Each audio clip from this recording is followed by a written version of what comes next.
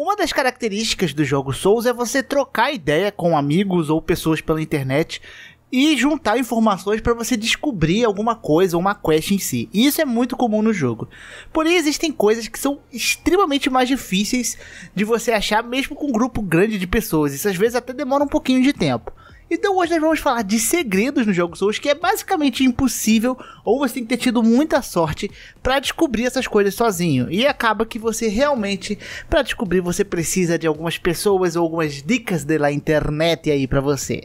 Então antes de começar o vídeo, não se esquece de deixar o seu like, se inscrever no canal. Se inscreve aí, cara, que eu vi aqui que tem tipo 40 pessoas 40% das pessoas que assistem o vídeo não são inscritas, cara. Só dá um clique aí embaixo, a gente que vê todos os vídeos e não se inscreve, é bizonho. Se inscreve aí, então vem comigo pro vídeo. No início do primeiro jogo, do primeiro Dark Souls, nós somos levados para o mapa de Undead Asylum. Lá nós enfrentamos o boss tutorial e saímos no maior estilo, sendo levado pelo Corvo Uber, onde a gente é levado para Lordran e para Firelink Shrine, a gente continua a nossa jornada. O interessante é que é possível voltar para cá depois para você encontrar um chefe opcional e até alguns itens importantes, inclusive para você acessar uma outra área com outro boss secreto, que é o mundo das pinturas. Só que para voltar para cá, parabéns para quem foi um dos primeiros a descobrir. É muito difícil você descobrir, a não ser que você seja um nato explorador, porque o caminho para retornar para cá requer uma série de acrobacias lá dentro de Firelink Shrine. O pior é que é um caminho bem tortuosozinho e você às vezes acha que não é para ir por ali, não dá para ir por ali e que você está fazendo algo errado, mas de fato é possível. E ainda você precisa pegar a chave que está ali em cima para depois você ir até o ninho do corvo, se agachar e esperar ainda por alguns segundos. Se o cara perder a paciência e falar, ah, não, acho que não era para fazer nada aqui, ele sair um pouco antes, ele perdeu, não vai acontecer. Tem que ficar agachado e esperar entrar a cutscene, onde você vai ser levado de volta para Undead Asylum.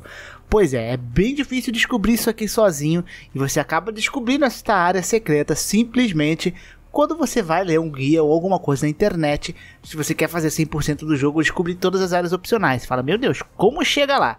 Pois é, é um baita malabarismo e nada tá indicado no jogo que é possível voltar para lá. Isso que é bizarro. No lançamento do Demon Souls Remake, um segredo levou alguns dias para ser descoberto, mesmo com muita gente correndo atrás.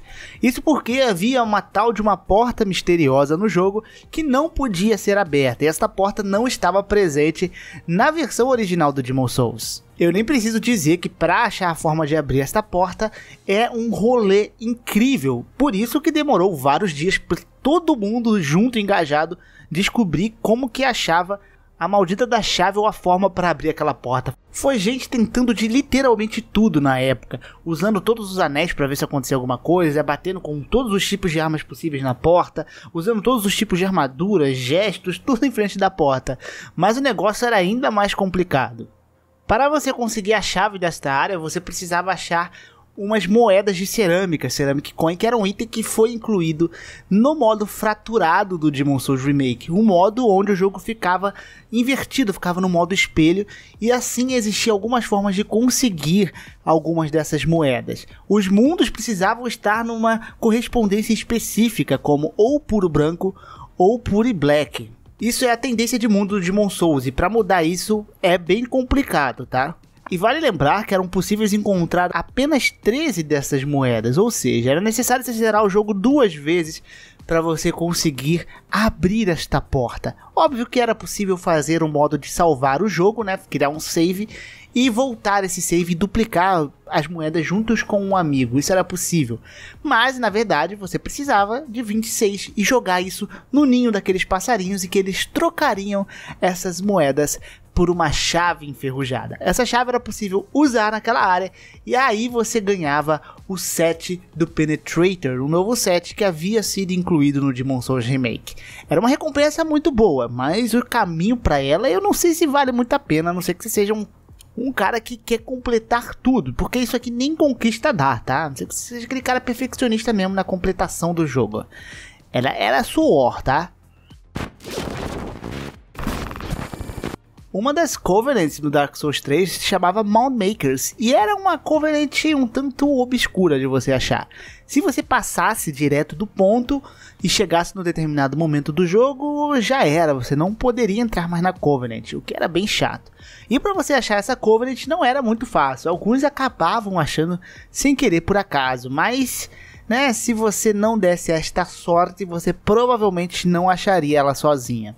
Isso porque existe um monstro igual todos os monstros que você encontra no mapa dos assentamentos dos mortos-vivos, mas esse aqui ele não te ataca, porque você pode entrar na gaiola nas costas dele. É isso mesmo. E aí você era, entre aspas, assim como no Bloodborne, sequestrado por ele e era levado para a área onde você poderia se juntar a Mount Makers. Tá? Esta área é a mesma área de um boss. Então, depois que você enfrentava esse boss, você perdia a Covenant e esse boss ficava nesse mesmo mapa. Então, era muito fácil você perder o acesso a ela. Era muito fácil você não encontrar esse inimigo disfarçado de de Uber, poderia dizer de certa forma, né? Então era um Uber secreto dentro do jogo que te levava para um caminho que não dava para você acessar sozinho. É, e para achar isso aí não era muito fácil não, né? Você tinha que ter muita atenção. É, no Bloodborne, o que, que os caras inventaram, né? Tinha um gesto que você podia encontrar com um corpício que você encontrava ali no mapa do jogo, que se chamava fazer contato, que era esse símbolo aí maravilhoso que virou muita referência no Bloodborne, né? É, é, o gesto referência do Bloodborne, enquanto no outro a gente tem o Praise the Sun, no Bloodborne a gente tinha o fazer contato, era o mais icônico de todos.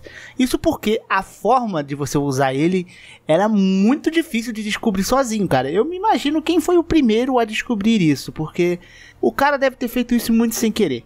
Existe um momento que a gente vai pro mapa, que é o pesadelo de Menses, e lá existe um cérebro gigante chamado cérebro de Menses.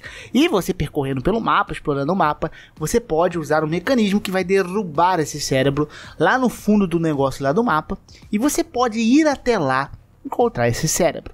Acontece que se você usar esse gesto, né, o fazer contato, por aproximadamente 40 segundos, você ganhava uma runa da lua.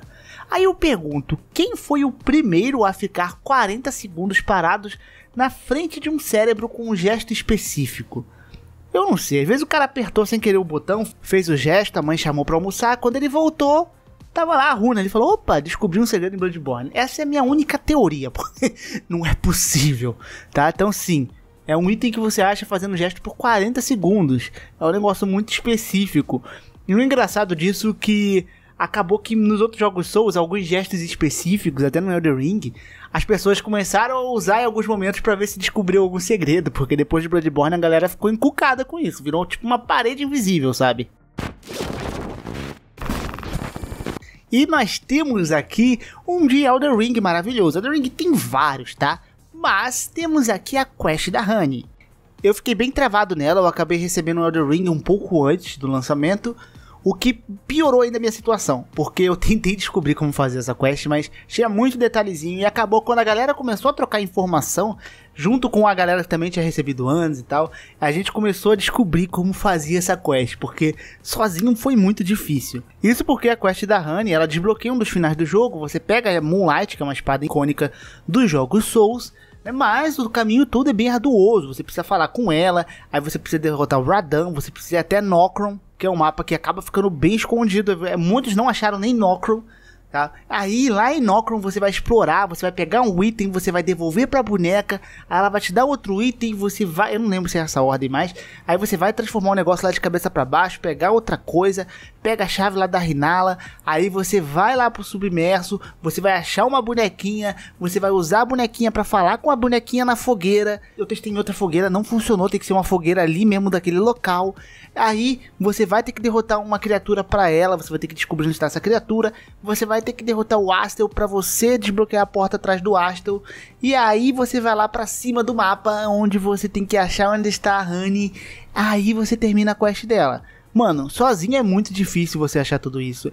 Então você precisa de algumas informações. Eu falo por experiência própria. É muito difícil achar sozinho, não tem como, mané. Pois é. E meus queridos, eu fico por aqui. Espero que tenham gostado. Se vocês gostaram, não esqueça de deixar seu like e se inscrever no canal. Um grande beijo, um grande abraço, um beijo no popô. E tchau.